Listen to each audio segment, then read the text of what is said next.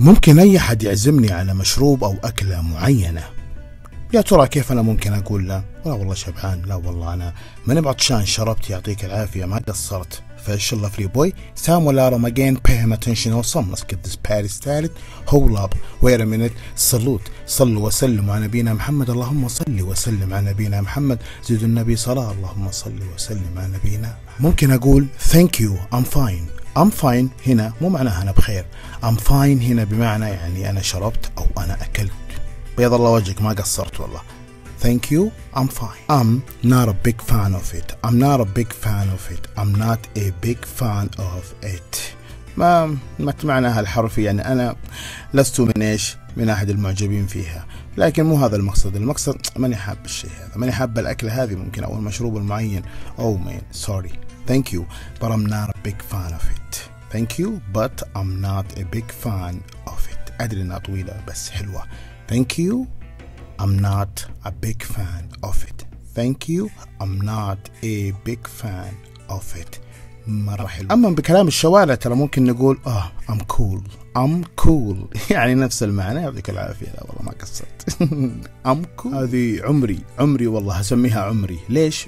ممكن أحد يعزمني ما ودي أجل عزيمة.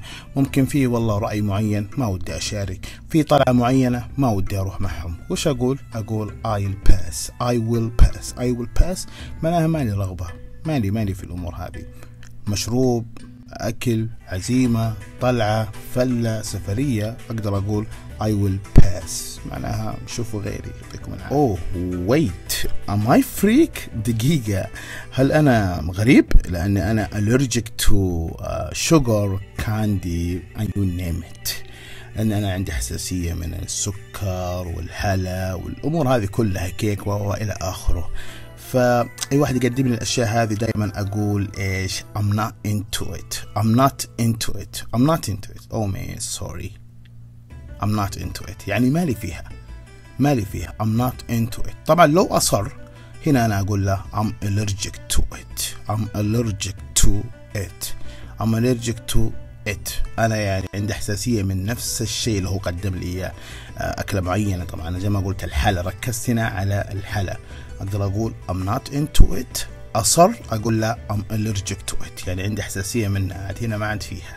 وبس. وما ننسى الخدعة. دائما نمارس بإحساس. دائما نمارس بإحساس. لاحظ أتكلم معك من أول كأني قاعد أشوفك لأني عايش اللحظة. فحاول أي شيء تتعلمه مني أو غيري تحفظه وتطبقه بإحساس عشان يثمر معاك وتحب اللغة حبيبي وتزيد معلومات ربي يوفقكم جميعا.